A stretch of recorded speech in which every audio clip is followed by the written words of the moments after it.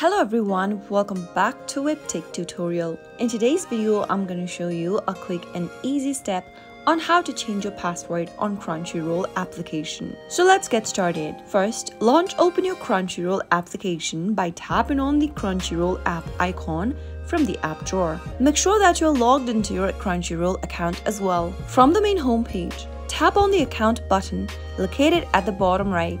Under my account, tap on Change Password. Enter the current password for your Crunchyroll account in the first text box. Once you are done entering the correct password, you can head over to the next field and type in the new password you are trying to change to. Once typing in the new password, retyping the new password one more time in the last text box where it says confirm new password. If you don't remember your current password, you also have an option to reset your password. Tap the forgot password in order to change to a new one. Finally, after filling in all of the boxes, tap change password, wait for a few seconds, and you have successfully changed your Crunchyroll account's password. It is that easy.